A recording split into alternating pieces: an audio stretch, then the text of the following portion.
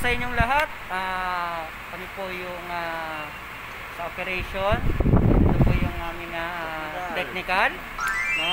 Ah, papakita po namin sa inyo kung ano yung tamang pagkabit, paano yung tamang pagkabit po ng ah, actuator valve dito po sa aming ah, butterfly valve para na sa ganon ay makita po natin yung ah, tamang settings at saka yung tamang pagkabit po ng ating pong actuator sa ating pong barbula. Simulan na po natin yung pagpakabit. Sir Alex, sige po. Unahin natin ito. Kailangan naka-sentro yung ano natin, naka-fully close yung valve. So, Sir Alex, kailangan ay ah, nakasentro muna yung ating ah, barbula, no? Itong uh, bear shaft, kailangan nakasentro. So, unahin natin ito. Anong tawag dito, Sir Alex? Ah, spacer. spacer. Yan, spacer. No? Kailangan Spacer nakalagay ito na. Stator. Tapos kailangan po may Yan yung- bukas niya, akma rito. Ah, papasok natin siya rito sa hole niya. Oh, ayan yung ah, bushing, no? Tama, Sir Alex, no? Kailangan medyo nakasentro. Ayan. Yan. Naka- tama sentro siya. Once Okay. na may sentro mo na, susunod mo yung Yung ating actuator. So, yun yung ating actuator. kahit saan posisyon pwede to. Okay. pa ganon. Hanggat hindi pa siya nalalagyan ng bolt, sir, ano? Oo. Okay na, no? Okay lang. Ayan. Once na pumasok na, Okay. dito, at pasok mo yung mga tornilyo. Ayan. So, lalagyan na natin ng tornilyo. Mahirap pumasok, pilitin mo lang ng rito, konti lang. Konti lang. Banayad Para, lang. para pumasok yung Para mga pumasok bolt yung natin. mga bolt natin. Okay.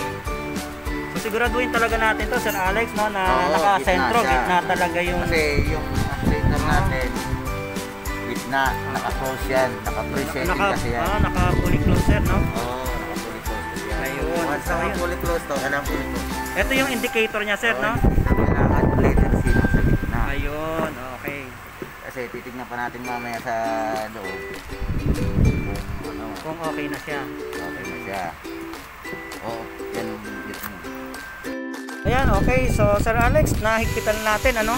Ayan, nahigpitan na natin yung ah, mga bolt dito sa barbula at saka sa actuator. So, pagkatapos niyan, bubuksan na natin yung ating ah, actuator.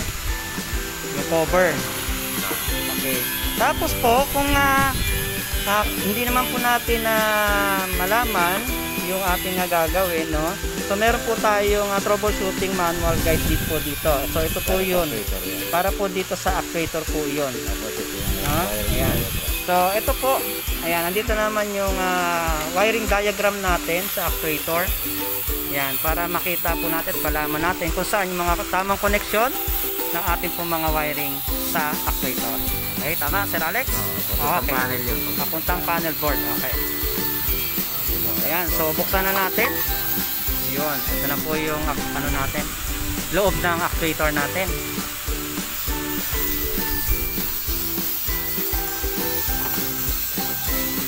So, tapos, ang gagawin natin, so, eto Sir Alex, itong mga to, ang tawag dito ay, Limit switch. Ayan, so limit switch daw po yan, no?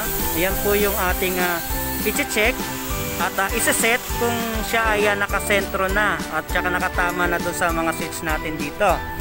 So kapag nakatama na po yan, susuplayan na po natin ng electrical. Tama po ba Sir Alex? Oo. opo.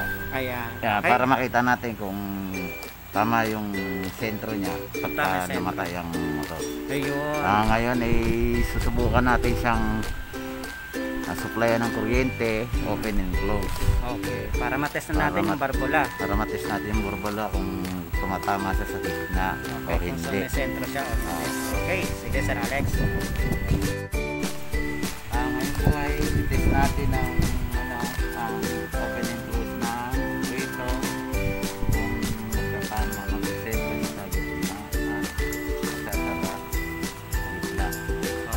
So, ibig sabihin nito, Sir Alex, uh, susuplayan natin siya ng kuryente. So, Oo, ito yung 220 ating ah, 20. ano no, supply no. Oo. So, sa ngayon, testing pa natin, 220 volts yung ating ginagamit. Ah, At ito yung ating ah, pin ano. oh, ah, Yan. testing yung So, anong number yan, Sir Ah, Alex? number 2, pinuso ko siya number 2 at number 1. kailangan ay bumukas siya. Ayun. So, Nakita mo number yung 2 bulb and na number 1. So, ayan po, no? Tinest natin. At ah, okay naman po, gumana yung ating actuator. Uh, niikot yung ating barbula ngayon. Ay, hintayin natin Ayan. huminto yung motor at huminto yung pag-open. Ititignan natin kung nakasentro siya sa gitna. Ayan, so Ito na po. Opo, kung makikita po natin ano, yung ating pong barbula, ano yung disc niya, no? Napagana, no? Ah, na, na fully open. Okay. So ito po yung limit switch natin kanina, sinasabi natin. Okay, gumana na po sa siya. Yung ating ah, limit switch. So ayan po, no? Kung makikita po natin, tumukod na yung ating limit switch dito. Kaya siya uminto, no? So susubukan naman po natin ngayon na i-close position or fully close na po. Saang number naman yan, Sir Alex? Ah, 2 and 3. Ayan. Sa 2 and 3 naman po natin nilagay ano, yung ating pong ah, switch actuator. So ayan po makikita po natin na nagko-close. So yung testing naman po natin fully close kung sa sentro naman po siya na naka-fully close. Pa. So ayan, kung mapansin po natin, medyo konti, may kulang na konti, no? Isi-set po natin ulit siya para may sentro. Dito lang tayo mag-adjust sa limit switch Okay. para sa limit na. Ayan, okay. So, Yun lang yun. ganun din po ulit dito, no, Sir Alex, no? Dito tayo Ah, mag-adjust, sa dalawang kulay blue. Sa dalawang kulay ko lang. Oo, yung kulay blue. Mapapansin nyo yung kulay blue nakatukod. Okay, okay. Kaya i-adjust natin ng konti. Sige, Sir Alex. Okay.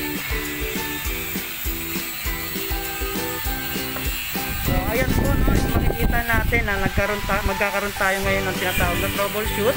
So, ibig sabihin po niyan, ay meron pong nag, ah, hindi masyado naka-fully close po yung ating disk. So, ngayon, ito troubleshoot po natin is i-assign po natin dito, set po natin sa atin po limit switch. Ayan, kung mapansin niyo po, Ito lang, ginagalaw na po ni Sir Alex. ina-adjust lang natin to para bumukas ulit yung, Yun. yung limit. Paangatin mo lang siya na konti-konti na. Yun.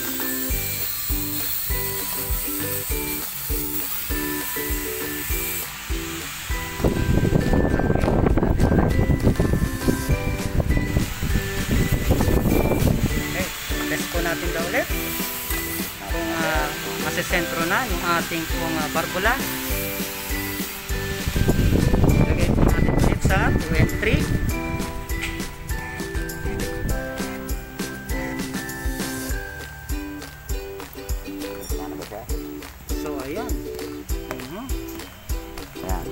Kung mapapansin nyo po, no, nasa gitna na po.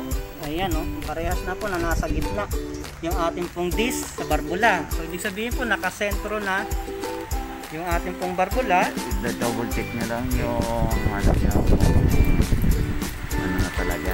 Okay. Tapos dito. Tapos i-double ah, check na lang daw po natin dito sa manual. Ito po yung um, pang-manual natin. Okay? Para po malaman natin kung nakasentro na talaga.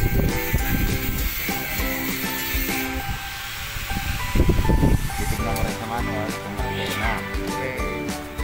Nakasentro na siya, sir. Okay.